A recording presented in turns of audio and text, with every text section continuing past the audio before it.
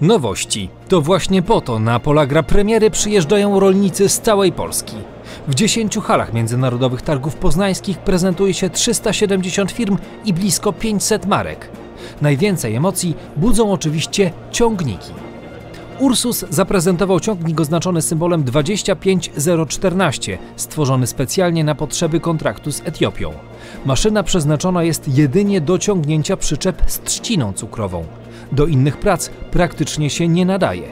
Ciągnik nie będzie też dostępny nigdzie poza Afryką, a to dlatego, że zamontowany w nim silnik nie spełnia żadnych norm emisji spalin. Podobną sensację co Ursus wzbudził też Zetor. No bardzo ładny. Czarne, czarne szyby nieletnich nie widać, mówią. To jest nasz nowy koncept. Yy, Jak się uda, chcielibyśmy, żeby tak nasze ciągniki wyglądały w przysz- w przyszłości. Za wygląd został też doceniony ciągnik fińskiej marki Valtra.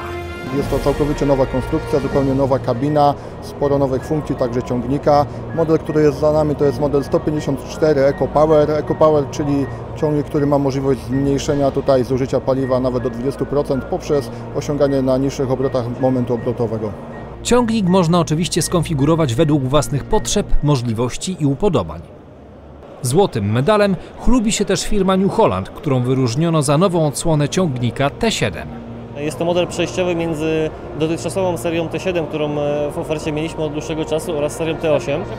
E, Jest to ciągnik, który ma e, większą moc, do 315 15 koni mocy silnika. Przekładnia automatyczna autokomand, Swoimi konstrukcjami podczas targów chwaliły się też marki Sam Deutzfahr, Case, Fendt czy McCormick. Podczas targów doceniano jednak nie tylko ciągniki. Złoty medal otrzymała też sieczkarnia John Deere model 8400 o mocy 540 koni mechanicznych. Co wyróżnia tę maszynę? Jest to system ProCAD, system, który automatycznie monitoruje nam stan, stan noży oraz stalnicy i daje dla operatora informację na monitorze, że należy naostrzyć noże bądź dosunąć stalnicę. Wszystko odbywa się automatycznie. Komputer sam określa ilość cykli ostrzenia. Sieczkarnia ma też funkcję automatycznego załadunku przyczepy połączoną z synchronizacją prowadzenia ciągnika. Mówiąc prościej, podczas załadunku sieczkarnia przejmuje kontrolę nad ciągnikiem, który jedzie śladem sieczkarni. System sam rozprowadza też ziarno w przyczepie. Wiele emocji wśród zwiedzających wzbudził też zaprezentowany przez John Deere Combine S690. Dysponujący mocą 600 koni mechanicznych Olbrzym jest największą maszyną w ofercie tej firmy. Jego atutem jest system inteligentnej regulacji drugiej generacji. Na przenośniku czystego ziarna i niedomłotów umieszczone są dwie kamery, które cały czas monitorują jakość ziarna, ilość zanieczyszczeń, ilość uszkodzonych ziaren.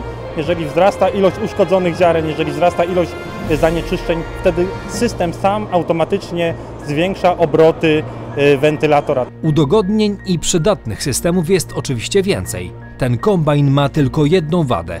Jest nią cena. Bagatela 1 300 tysięcy złotych. Skąd wziąć na to pieniądze?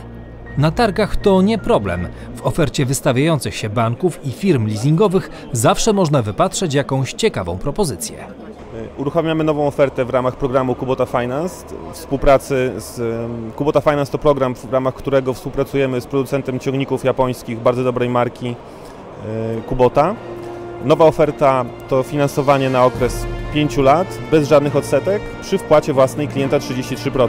Problem w tym, że sprzedaż nowych ciągników wciąż spada.